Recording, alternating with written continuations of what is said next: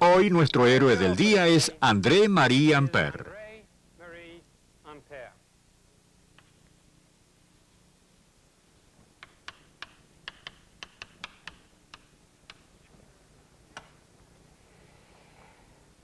Ampère se educó bajo la influencia del filósofo Rousseau, lo cual significa que nunca se le enseñó.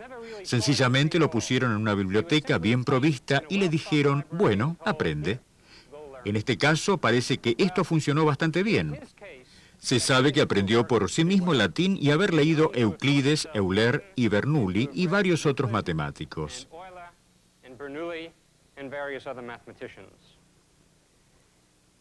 Sin embargo, mientras tanto, cuando tenía 14 años, en el año 1789, descendió la Revolución Francesa.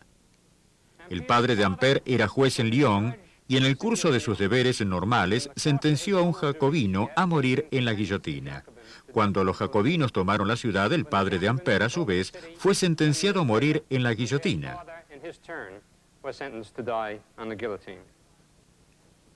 A través de toda su vida, Amper sufrió las consecuencias de un conflicto que es muy común en las sociedades mediterráneas, un conflicto entre un padre escéptico, dubitativo, y una madre católica profundamente religiosa. Esto lo llevó a través de toda su vida a elaborar grandes proyectos metafísicos que nunca fueron de gran importancia. Su vida personal fue extremadamente difícil, algo parecida a la de Kepler, si lo recuerdan. No solo que su padre murió en la guillotina, su primera esposa con quien se casó en 1799 murió cuatro años más tarde. Se divorció de su extremadamente desagradable segunda esposa. Tuvo un hijo quien era un holgazán inútil. Tuvo una hija, la cual amó extremadamente, y ésta se casó con un oficial del ejército en estado de locura. A través de toda su vida siempre anduvo escaso de fondos. Su vida profesional fue aún más extraña.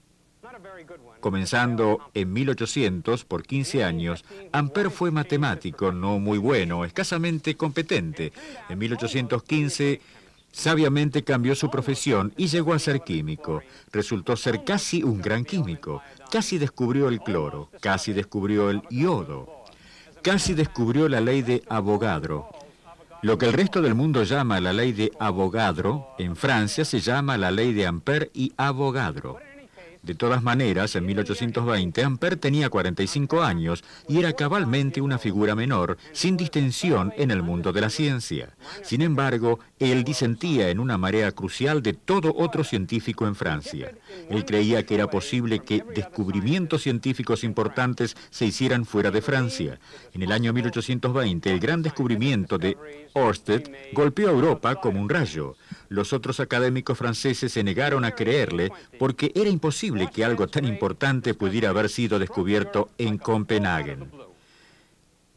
The other French academicians refused to believe it because it was impossible that anything so important could have been discovered in Copenhagen.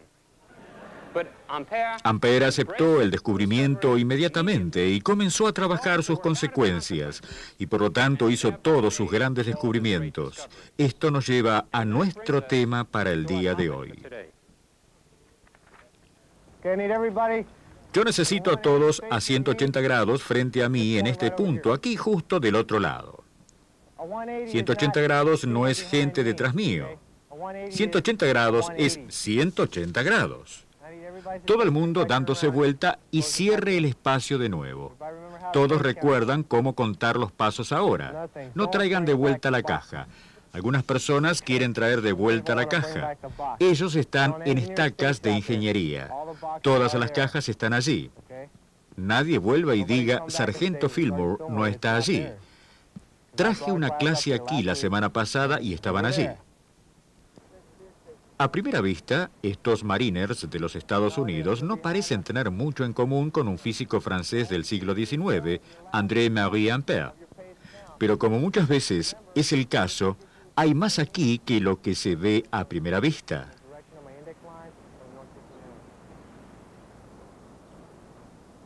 El desafío para Ampère era explicar un misterioso asunto de la naturaleza común, pero a menudo desconcertante. El desafío para estos marines es localizar una pequeña caja bien escondida que está en alguna parte en esas colinas.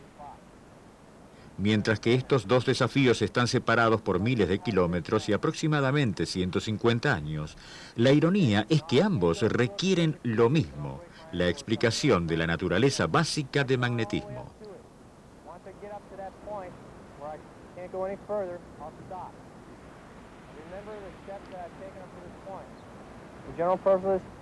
Controlo mi azimut. Si debajo de mi línea índice dice 340 y aún puedo disparar mi azimut directamente hacia el corporal Salazar, entonces sé que estoy trabado. En 1820, Hans Christian Ørsted descubrió que las corrientes eléctricas producen fuerzas magnéticas y que esas fuerzas siempre hacen que los magnetos indiquen perpendicular a la dirección de la corriente.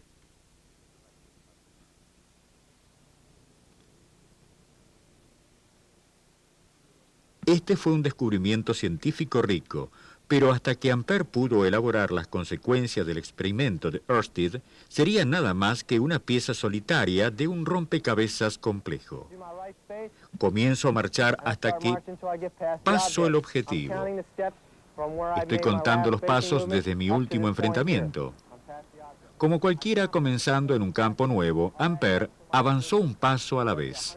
Armado con el descubrimiento de Ørsted, yo voy a hacer lo opuesto y tomar tres pasos hacia aquí. Una vez que llego aquí, hago otro movimiento hacia el frente. Vuelvo a disparar mi azimut. Estos americanos, por lo menos, tienen una ventaja que Ampère le faltó. En vez de trabajar en estos alrededores tranquilos de tiempos de paz, Monsieur Ampère comenzó su carrera científica en el sangriento pandemonium de la Revolución Francesa.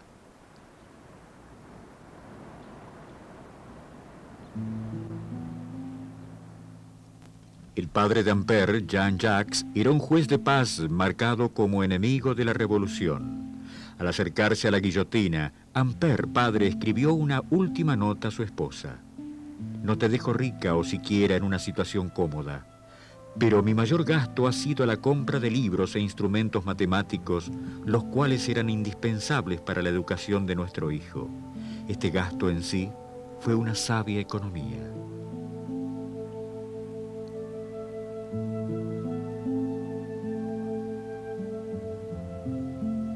Considerando lo que su hijo logró, el dinero del padre de Ampère, por cierto, estuvo bien invertido.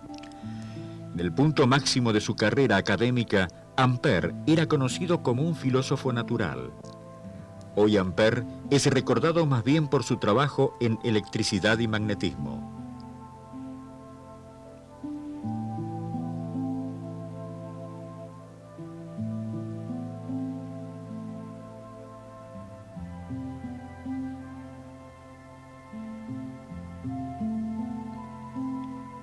Ese trabajo comenzó con el hecho que la corriente eléctrica, fluyendo a través de un cable largo o derecho, produce un campo magnético que circula alrededor del cable.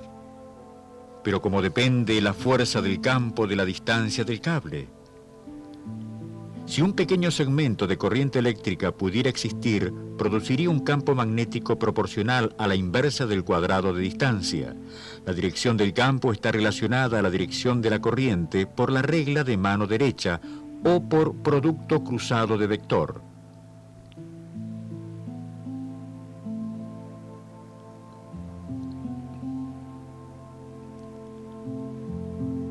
Campo sería mayor cuando el segmento de corriente y vector distancia son perpendiculares.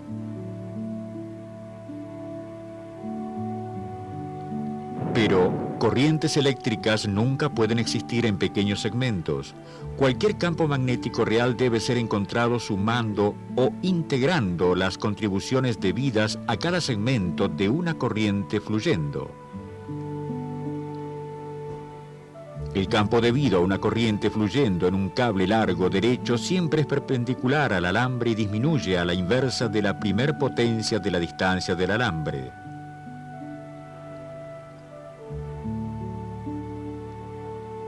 El resultado neto es un campo que va en círculos. Las líneas de fuerza son círculos concéntricos con el cable y el campo es el mismo todo el tiempo alrededor de cada círculo. Por el otro lado, si el cable está doblado en un circuito, la corriente fluyendo a través del mismo produce lo que es conocido como un campo dipolo.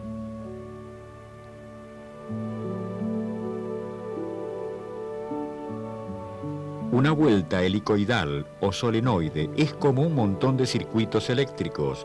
Crea un campo muy similar al de una barra imantada.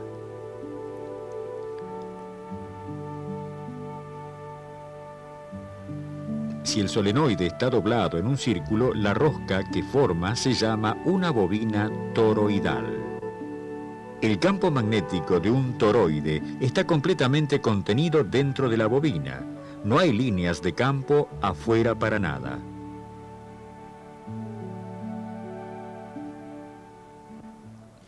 Líderes del equipo de fuego, alcen sus mapas de modo que su equipo pueda ver. Una vez que lo abrí correctamente, puedo seguir y disparar. Pongo mi mano derecha en mi izquierda.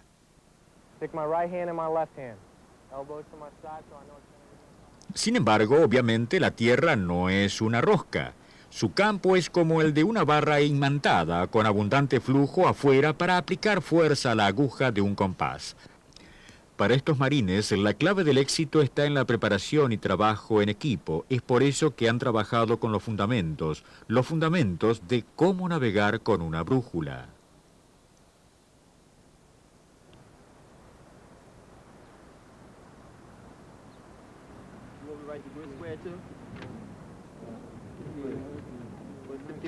Por supuesto, aún entre expertos, y aún con la ayuda de una brújula, llegar de un punto al otro puede ser un desafío.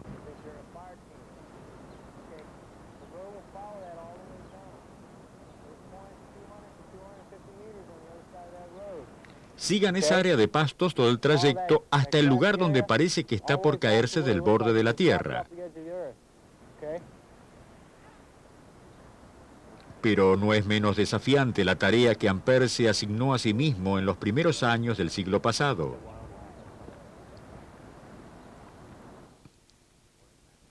Por ejemplo, hizo la pregunta, si un cable portador de corriente ejerce una fuerza sobre un magneto, ¿ejercería una fuerza sobre otro cable portador de corriente? Para responder a la pregunta, considere los hechos. Una corriente que fluye produce un campo magnético y un campo magnético aplica una fuerza a una carga eléctrica en movimiento. Por lo tanto, dado que una corriente eléctrica es nada más que cargas eléctricas en movimiento, se desprende, entonces, que corrientes eléctricas que fluyen aplican fuerzas magnéticas la una a la otra. Corrientes fluyendo en la misma dirección se atraen la una a la otra. Corrientes fluyendo en direcciones opuestas se repelen la una a la otra.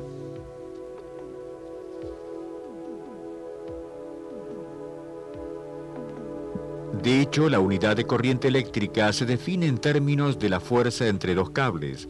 Quizás por eso se lo llama ampère. Pero Monsieur Ampère hizo algo más práctico aún y definitivamente más profundo que prestar su nombre a la unidad de la corriente eléctrica.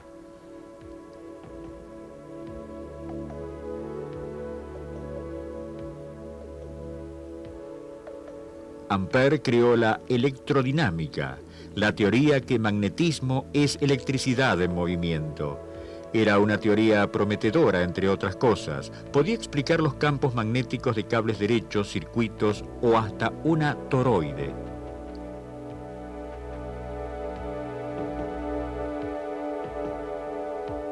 Pero ¿qué pasa con el campo de una barra imantada? También aquí Ampère tuvo la idea correcta que debía haber corrientes dentro del mismo magneto.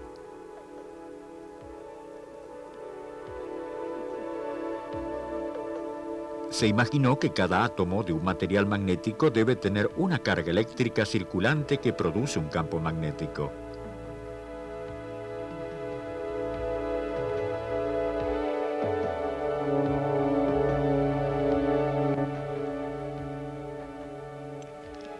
Hecho, la Tierra que gira tiene cargas eléctricas circulantes en su centro, las cuales crean el campo magnético que atrae una aguja de brújula. Por lo tanto, la fuerza que hace que una brújula siempre señale hacia el norte es la misma que la fuerza entre dos cables portadores de corriente.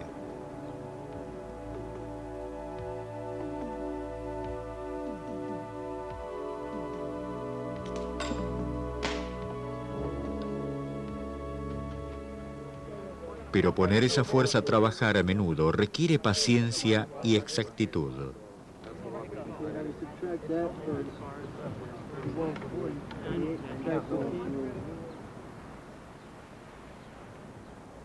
Para hacer la medición de ángulos tan exactos como posibles a través de largas distancias, una persona observa alineando la brújula con otra persona a cierta distancia.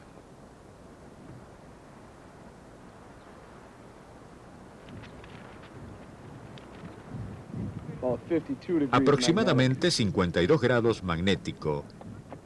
Dibújelos aquí con un transportador.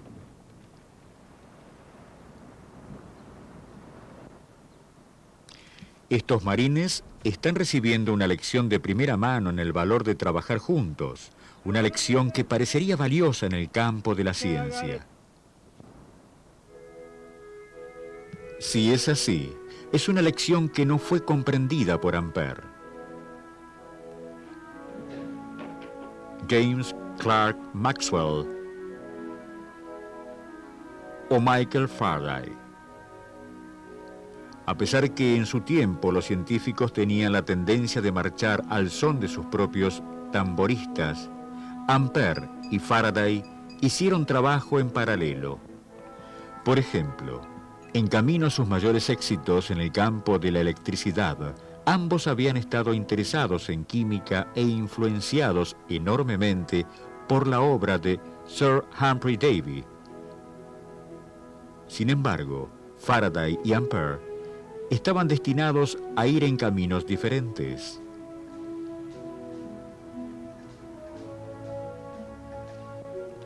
Donde Faraday era intuitivamente brillante, Ampère sencillamente era brillante cuando se trataba de números y símbolos. La ley que lleva su nombre es una descripción matemática del campo magnético, tanto similar al como diferente del campo eléctrico. En un campo eléctrico no hay trabajo hecho si una carga es movida alrededor de un sendero cerrado y de vuelta a su punto inicial. Por lo tanto, cuando uno sale de cualquier punto en cualquier trayectoria y regresa al mismo punto, el campo en potencial eléctrico siempre es cero.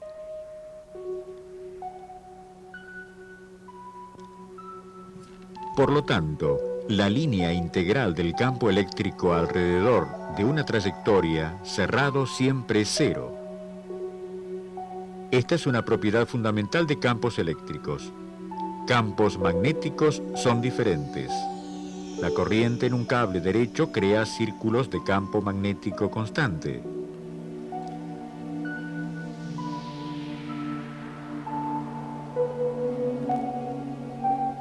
Dado que el campo es constante en cada círculo, la línea integral en cada uno es calculada fácilmente.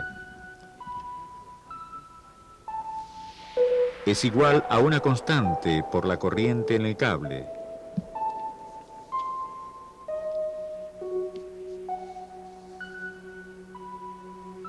Y por consiguiente, por toda trayectoria alrededor del cable.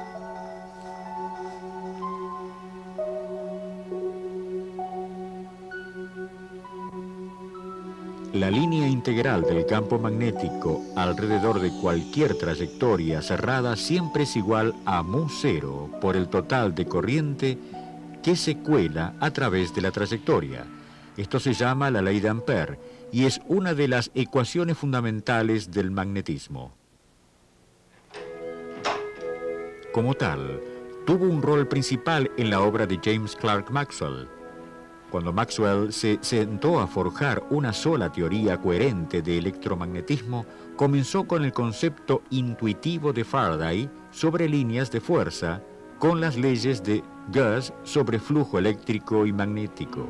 y con la brillante idea de Ampère que todo magnetismo era eléctrico en su origen. Por supuesto, estas ideas tenían que ser expresadas matemáticamente.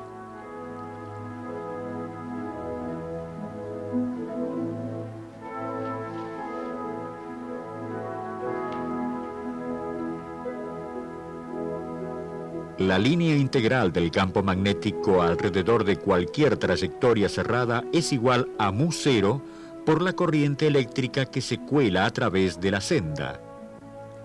Pero para campos eléctricos la línea integral alrededor de cualquier senda siempre es cero. El flujo eléctrico a través de cualquier superficie cerrada es igual a la carga neta dentro dividida por epsilon cero.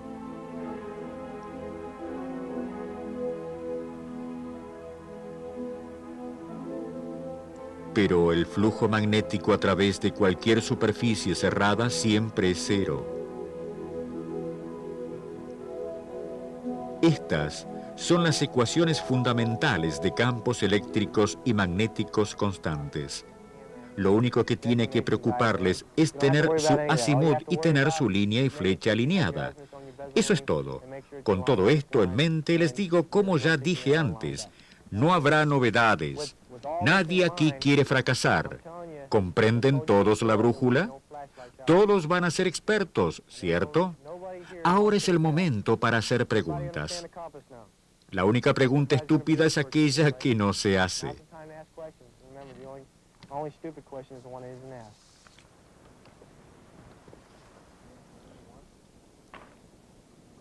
Una vez que Ampère se dio cuenta que un circuito de corriente daría un campo magnético de la misma forma del campo de una barra imantada, un magneto permanente decidió que quizás todos los campos magnéticos eran debido a corrientes eléctricas, es decir, cada magneto permanentemente tenía corrientes eléctricas moviéndose dentro de ella para generar un campo. Bueno, esa idea inmediatamente fue bajada a tiros por un colega llamado Fresnel. Fresnel señaló que los materiales que pueden ser hechos magnetos, hierro y acero son notoriamente pobres conductores eléctricos y que cuando una corriente eléctrica corre a través de un conductor pobre, produce calentamiento. Si la idea de Ampère fuera correcta, entonces todos los magnetos siempre estarían calientes. No lo están, de manera que debe estar equivocado. Pero le dio una salida a Ampère. Dijo, no sabemos nada acerca de lo que sucede dentro de los átomos. Quizás las corrientes que causan magnetismo en realidad ocurren dentro de los átomos que forman parte del material. Ampère abrazó la idea y elaboró una construcción muy ingeniosa. En el momento se creía que existía el éter luminífero. Sabremos acerca de esto mucho más más tarde, pero en todo caso fue el medio por el cual se suponía que llevaba luz a través del espacio. Ampère especuló que quizás el éter estaba compuesto de grandes cantidades de carga eléctrica, tanto positiva y negativa, pero por lo común en el equilibrio perfecto, de manera que era completamente neutral, excepto quizás dentro de los átomos. La idea que tuvo fue esta. Aquí hay un átomo, y aquí hay algo de carga eléctrica moviéndose a través del éter, carga positiva moviéndose junto con la carga negativa, de manera que los dos se equilibran y no tienen efecto. Pero una vez que logran entrar en el átomo, éstas podrían dividirse. La carga positiva podía moverse alrededor de una manera y luego salen nuevamente. La carga negativa podría moverse alrededor de la otra manera y luego salir nuevamente. El efecto de la carga positiva sería una corriente eléctrica moviéndose alrededor con la carga positiva de esta forma. El efecto de la carga negativa sería una corriente eléctrica moviéndose en dirección opuesta. El efecto neto es un circuito completo de corriente, el cual tendría un campo magnético que se vería de esta manera. Esto significó que si los átomos de una pieza de material todos tenían estos circuitos de corriente eléctrica en ellos, moviéndose en la misma dirección, el material tendría las propiedades de un magneto permanente. Esta es una idea muy peculiar.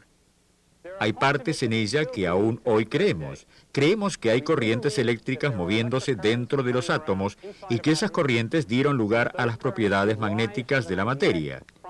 Ya no creemos en cargas llenando un éter luminífero y esto de dividirse dentro de un átomo y salir nuevamente.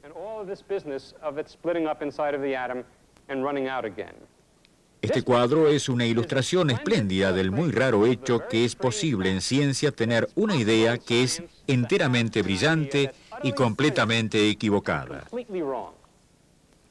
Pero es parte del andamiaje que siempre estamos construyendo con el fin de progresar.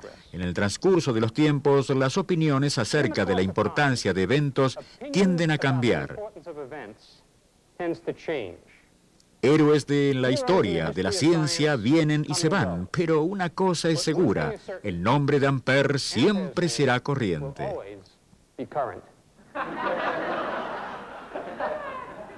No agarren magnetos de madera. Los veré en la próxima vez.